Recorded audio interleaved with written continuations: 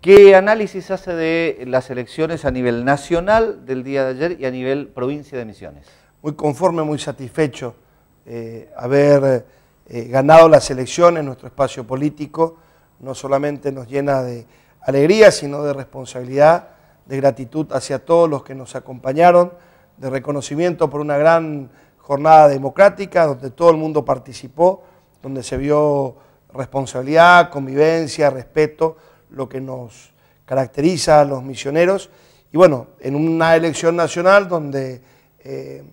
no todas las provincias tuvieron los resultados esperados, nosotros tuvimos un gran resultado que además le hace eh, aparecer a nuestra fuerza con el sesgo misionerista que nos hace falta y también a nuestro gobernador con la capacidad de presentarse a nivel nacional eh, a, debatir y a discutir temas con el gobierno nacional con un reconocimiento y un espaldarazo importante. El gobierno provincial el gobernador precisamente pidió el voto justamente eso, para tener espalda ancha para ir a negociar cosas para misiones ante la nación. ¿Siente que el misionero le dio ese respaldo? Sí, sí, es un respaldo que viene también producto de la cercanía. ¿sí? Eh, la provincia del interior es una provincia que más allá de lo que uno le proponga, lo que le gusta es que uno esté cerca, que uno la recorra, que la visite, que uno comparta, y esa cercanía que se expresa desde la gestión del gobernador y que también se expresa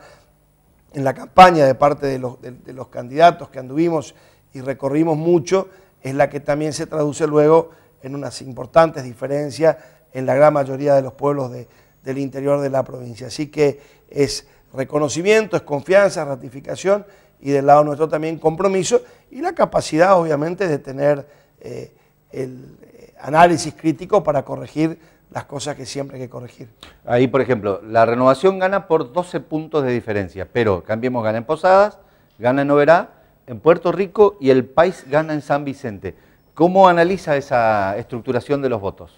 Bueno, hay que valorar la, gran cantidad de lugares donde ganamos. Eh, no perder el tiempo en justificar los lugares donde nos fue muy bien, pero yo como alguien eh, caminador de la provincia, te puedo decir que básicamente en el interior, los pueblos donde no tuvimos buenos resultados, es porque la dirigencia política quedó adentro de sus búnker eh, discutiendo la pelea de concejales o la pelea del 19 entre los dirigentes. Es decir, no salieron a, hablarle al pueblo y a explicarle lo que, lo que hicimos cuando fuimos gobierno, las cosas que estamos haciendo y por sobre todas las cosas la necesidad que tiene el gobernador de tener legisladores que, que los acompañen. Pero fue eso nomás, nada más que eso, en muy pocos pueblos, porque la inmensísima mayoría tuvimos un gran resultado electoral. ¿Y qué piensa a nivel nacional de, si uno mira el mapa argentino, todo el país central se pintó de amarillo, digamos? Porque el país central se había pintado de amarillo en el 2015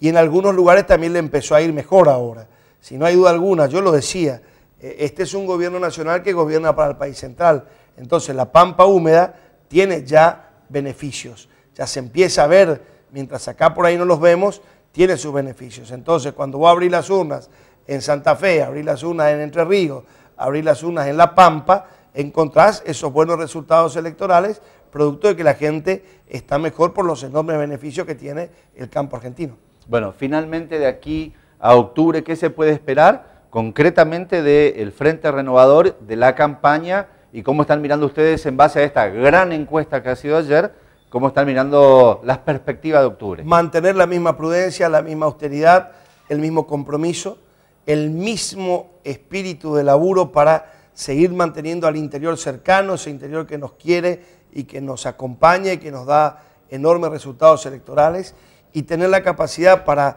eh, contarle al posadeño que evidentemente el posadeño quiere eh, ratificar el acompañamiento a Macri, que nosotros somos desde esta óptica una oposición tranqui, moderada y que tranquilamente nos puede acompañar a nosotros, que va a ser una forma también de que nosotros podamos ayudar a que Macri tenga un buen gobierno. Un buen gobierno donde no solamente le vaya bien al país central, sino también podamos tener mejores resultados, mejores decisiones y cosas para Posadas.